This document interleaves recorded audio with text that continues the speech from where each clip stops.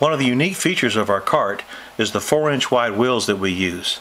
We have a, a 4 inch wide piece of TPE rubber that goes inside the inside of the, the hub that gives you tremendous traction when you're using it as a furniture dolly and it rolls over sandy, muddy or gravel terrains with ease.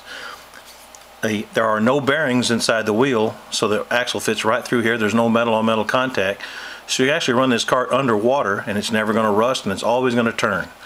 The neat design of this wheel gives you all the benefits of a smooth, quiet ride uh, as, as a pneumatic tire will do, but this one's never going to go flat and it'll always work for you and always be ready for you.